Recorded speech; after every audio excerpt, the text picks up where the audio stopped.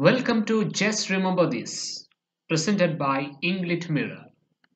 Let's remember the year 1989.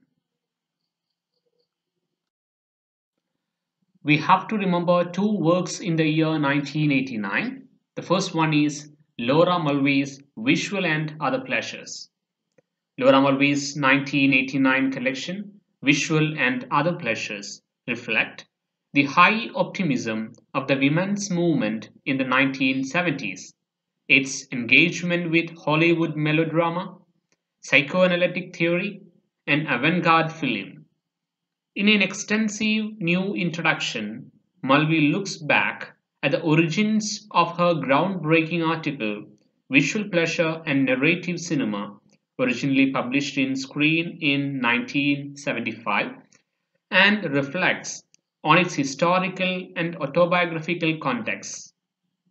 She reassesses her 1975 theories in the light of her more recent work on the impact of new technologies, particularly the digital, on film spectatorship.